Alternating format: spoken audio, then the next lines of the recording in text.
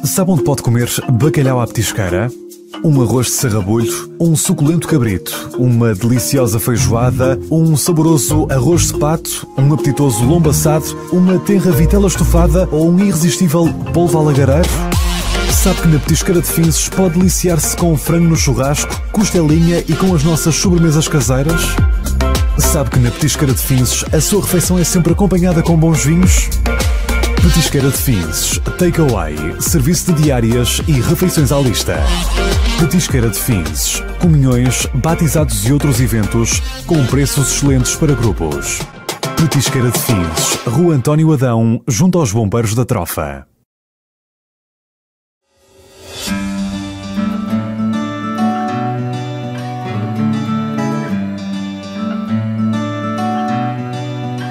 Tem formação em design gráfico e atualmente é desenhador têxtil, mas nas horas livres ocupa-se a criar cenários reais à escala tridimensional.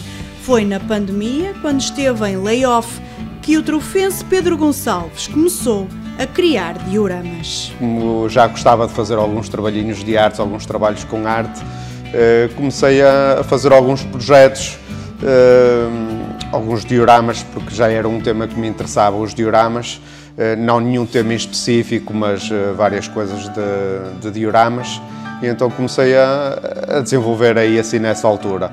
À medida que fui publicando na internet e mostrando a colegas, foi ganhando assim alguma notoriedade e, eh, e as pessoas gostavam do, do, do trabalho que eu fazia. Pedro Gonçalves acabou por se focar no tema dos ralis, que lhe permite explorar uma arte mais desorganizada e menos geométrica e porque tem muita procura de Portugal à China, para onde vai este projeto? Felizmente tenho pessoas de, de todo o mundo, já fiz trabalhos para, para vários países, de, para a França, Irlanda, Estados Unidos, já fiz uh, alguns trabalhos.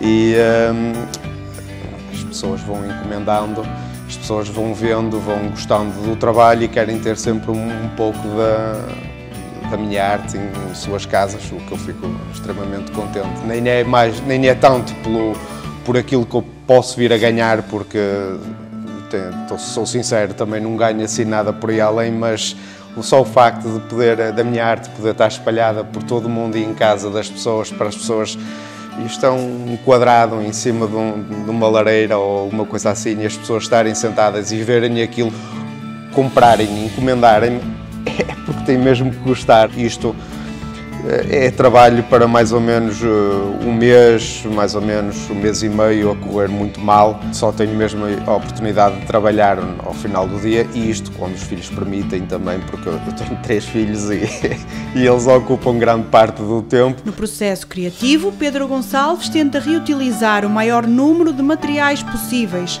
e daí resulta o pavimento, o fumo ou o pó e os elementos naturais. Eu tenho três filhos, quando os, os casacos dos meus filhos vão para o lixo, em vez de os deitar ao lixo, eu abro-os a meio, aproveito o algodãozinho todo, aproveito essas coisinhas todas. Ao início, quando não tinha mesmo maneira de comprar nada, era tudo feito por mim, a relva era feita com cordas, que eu cortava as cordas aos bocadinhos e fazia a relva, uh, só comprava mesmo a tinta porque não havia outra hipótese de, de o fazer mas a areia é areia mesmo. Uh, a massa para fazer a moldagem de, das peças é feita com pasta de papel, que eu até tenho nas minhas páginas eh, um, tutorial até para ensinar às pessoas, porque eu desenvolvi a minha própria técnica para fazer a pasta de papel, porque isto fica realmente duro.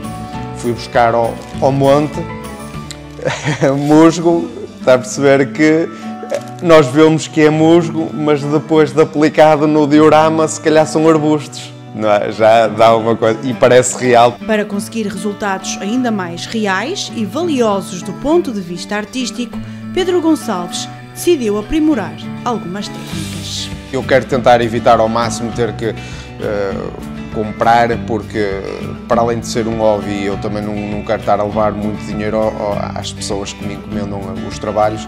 Então eu uh, investi numa máquina 3D e começo, tenho este, este carrinho, este Canam, que já fui eu que, que eu fiz, e esses bonequinhos estão aí, já começo a ter um, uns pilotozinhos, uns fotógrafos também para poder incorporar no, nos próprios dioramas, porque uh, que comprar isto, isto torna-se, isto, isto, é, um, é expendioso, é uma peça cara, ah, parece que é pequenina, é uma coisa, mas isto é uma peça até bastante cara. Com a ajuda do filho, Pedro Gonçalves consegue um alcance nas redes sociais que poucos se podem gabar, com vídeos que chegaram a ultrapassar um milhão e meio de visualizações.